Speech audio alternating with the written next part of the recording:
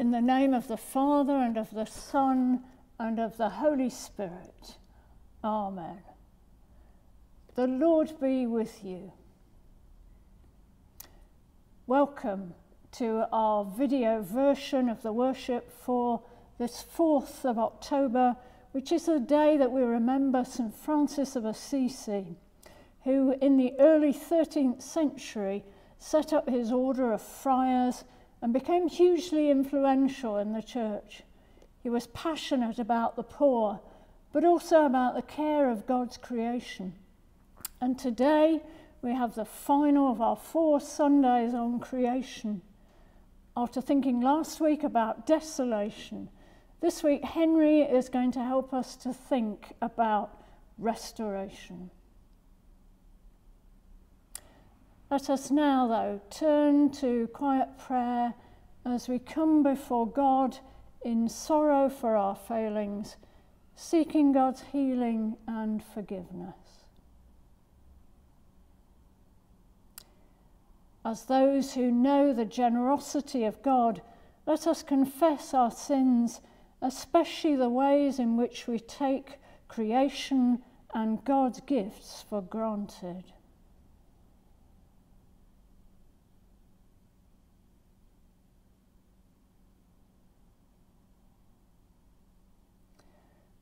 Lord, you give us this good earth, yet we take your generous gifts for granted.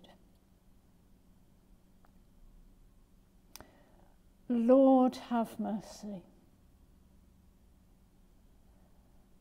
Lord, you give us this good earth, but we squander its rich resources. Christ, have mercy. Lord, you give us this good earth, but we fail to share your bounty with all your children. Lord, have mercy.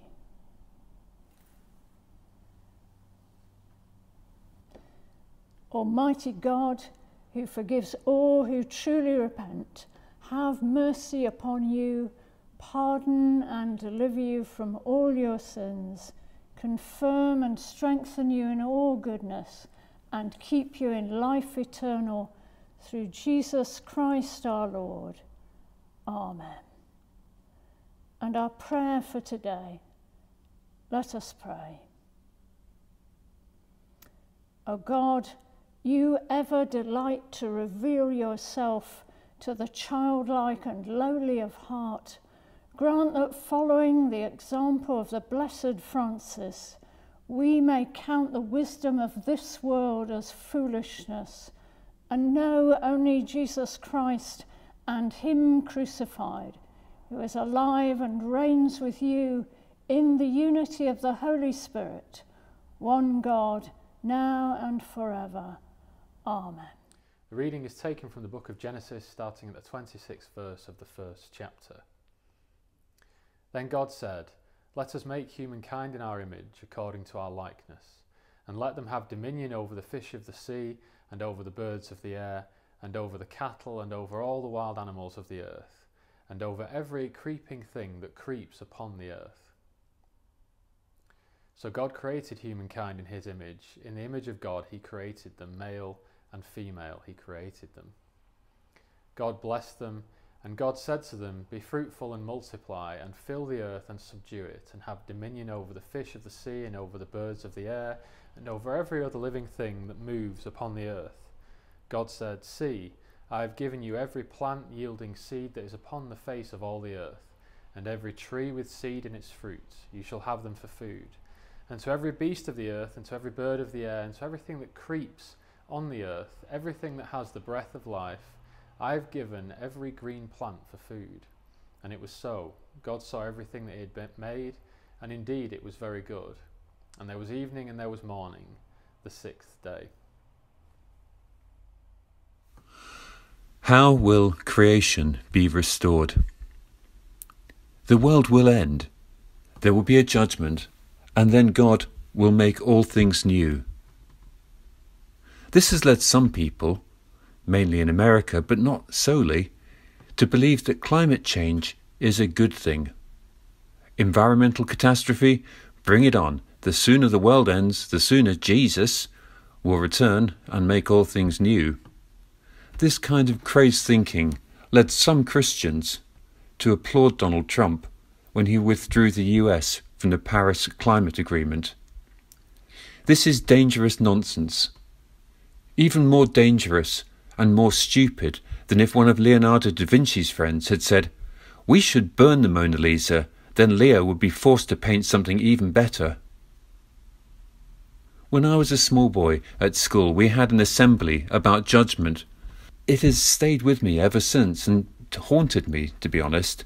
It ran like this At the end of the world, God will call all creation together for judgment. So far, so biblical. And when all are present before God, God will call humanity to step forward. Well, this happens, and God was clearly displeased with how humanity have looked after creation and then came a twist, a departure from any version of judgment that I found in the Bible. God struck a deal. God offered a full pardon to humanity if there were just two species from all the rest of creation that would stand alongside the human and say that they had done an okay job. Well, immediately the dog ran forward and stood beside the human. But no one else moved. In vain the human signalled to the cat. But the cat pretended not to notice. The human then looked to the cows, and they replied, Why should we? We remember the factory farms, the slaughterhouses, how our suckling young were wrenched from us so you could drink our milk. We remember the veal crates. And the fish chimed in, Don't look to us. We remember the trawlers, the mass suffocations on deck before half of us were thrown back into the sea dead. Then the whales, the sharks, the insects, the rhinos, the chickens, the bacteria, the pigs, the orangutans all spoke, all giving their highly understandable reasons why they did not wish to join the dog and stand alongside the human. And so it ended. Humanity had managed to make only one friend in all humanity's years as steward of creation. Now I wonder if they tell stories like that nowadays in assemblies. Okay, I've added the odd detail here and there, but that's basically what I heard back then when I was probably five or six. It haunted me at the time, and it haunts me still. Okay, it's not biblical, but that fact doesn't remove the arresting truth that we as humanity have not been good stewards of God's creation. Maybe the problem begins with Genesis in chapter 1, verse 26, where we read, God gives humans dominion over creation. And all this talk of dominion over every living thing that moves on the earth and filling the earth and then subduing it has possibly sent us in the wrong direction because we assumed we knew what dominion was. We thought it meant we're the boss, the most important, the top species with power over all the others to make them do whatever we want. I like this picture. It shows humanity lording it over all the rest. And last week, Sam reminded us very wisely that for most of human existence, humanity has had to struggle really hard just to survive.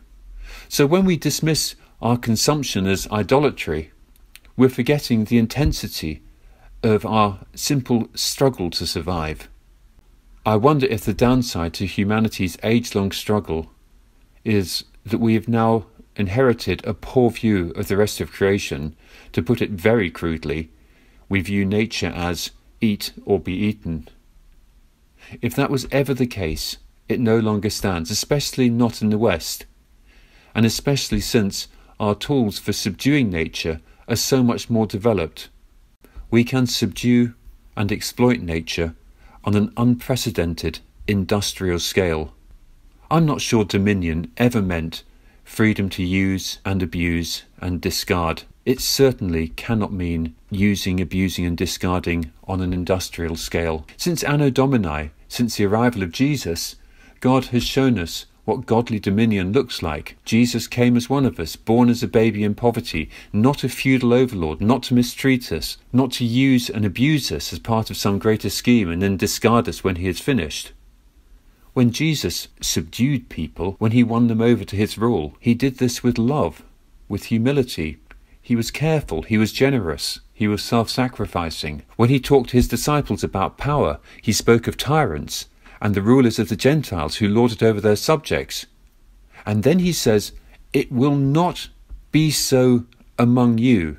That is not how you, as disciples, are ever to exercise power. And by extension, this is not how humanity is to exercise dominion over creation. That approach will destroy creation when our job as stewards is to manage creation well and when needed to restore creation. There's a picture that goes alongside the triangle, and this is the one I prefer. This shows us as part of creation, working with all of the rest for our mutual survival. So, a question How can we be more Christ like in our dominion? And how can we be more Christ like in our restorative stewardship? I want to take just one verse, just one saying of Jesus, and try to run with it and see how far it will take us. Jesus said, Where your treasure is, there your heart will be also. I believe we need a heartfelt change in the way we're conducting our stewardship of creation. But what if we started to treasure the independence of all things, from blue whales to bacteria, and treasure our place as part of this, not as lords over it? How about if we treasured the delicate balance of climate? Surely we would stop believing the easy lies that climate change is just a phase or a left wing hoax. We would seek to remove fossil fuels from the economy. We would ban single use plastics. We would stop being so wasteful. What if we treasured the world around us? Surely we would invest in cycle routes, in cutting emissions, in creating new jobs in clean, green industries, in exploring alternative energies, like ground source heat exchange, solar, wind, and wave power? What if we treasured diversity? Surely we would stop killing rhinos and pangolins for dubious health cures, and would stop cutting the fins from God's good sharks to make delicacies. If we could learn to treasure our jobs as stewards, we would embrace all changes that would assist us in our work. New ways, new wineskins, We'd build carbon zero homes. We'd retrofit energy efficiency into existing homes. We would farm differently, plant more trees, work with nature, not against it. Often nature will heal itself if only we give it a little space. And following David Attenborough's call, we will change our daily diets. We eat far too much meat, fish, and dairy, and it is now possible in the West to enjoy happy, healthy lives on plant based diets. Some of this we can accomplish as individuals. Me, I need to improve. There is a lot that I am not doing that I could be doing. I need to treasure my job and my planet more. And I think the same is true for each of us listening this morning. But this is beyond individual responses. We need governments who treasure humanity's call to stewardship much of the technology we need, we already have. What we lack is leadership to create a global, collective will to change. There's so much that we, especially here in the UK, a rich Western nation, can do and should do. But this is not just about ensuring our future and our children's future. This endeavour, this work, is part of our worship. This is a key part of our obedience to God. God tasked human beings with being stewards of creation, and God entrusted us with a masterpiece. God placed the running of this precious, diverse, and beautiful planet into our hands. That's an astonishing job. It's a good job, an amazing job to have. We should treasure this job. Presumably, God thought we were up to it. And here's the thing we don't even have to do it alone because God works with us. And God's creation is designed by God to heal itself. Sometimes we just need to leave it alone and protect it. It's a wonderful masterpiece, and if we make it our treasure, then our hearts will change and it will be restored and we shall be restored with it. We need to pray for new hearts for this task and we'll find these new hearts by treasuring the wonders around us because where our treasure is, there our hearts will be also. Amen.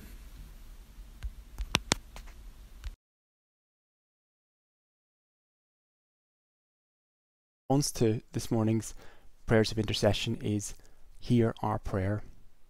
Let us offer our prayers to God for the life of the world and for all God's people in their daily life and work. God, the beginning and the end of all things, in your providence and care, you watch unceasingly over all creation.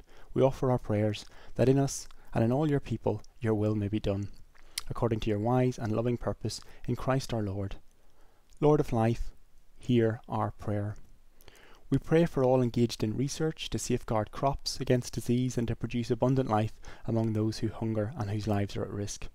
Prosper the work of their hands and the searching of their minds, that their labour may be for the welfare of all. Lord of wisdom, hear our prayer. We pray for governments and aid agencies and those areas of the world affected by climate change. By the grace of your Spirit, touch our hearts and the hearts of all who live in comfortable plenty and make us wise stewards of your gifts. Lord of justice, hear our prayer. We offer ourselves to your service, asking that by the Spirit at work in us, others may receive a rich harvest of love and joy and peace. Lord of faithfulness, hear our prayer. God of grace, as you are ever at work in your creation, so fulfill your wise and loving purpose in us, and in all for whom we pray, that with them and in all that you have made, your glory may be revealed, and the whole earth give praise to you, through Jesus Christ our Lord. Amen. As our Saviour taught us, so we pray. Our Father in heaven, hallowed be your name. Your kingdom come, your will be done, on earth as in heaven. Give us today our daily bread. Forgive us our sins, as we forgive those who sin against us. Lead us not into temptation, but deliver us from evil. For the kingdom, the power, and the glory are yours now and forever. Amen.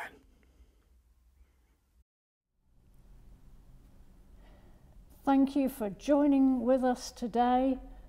Don't forget that we meet together on Zoom on Sunday mornings at 11:15 and in the church at 5:30 for evening prayer. Do let us know what you think we should be doing to care better for our world and do get in touch if you want to get more involved in the church. Stay in touch with us and have a good week. And now, may God, the Holy Spirit, who hovered over the waters of creation and formed the world from chaos, form you in the likeness of Christ and renew the face of the earth, and the blessing of God Father, Son, and Holy Spirit be with you all, now and forever. Amen. Go in peace to love and serve the Lord. In the name of Christ. Amen.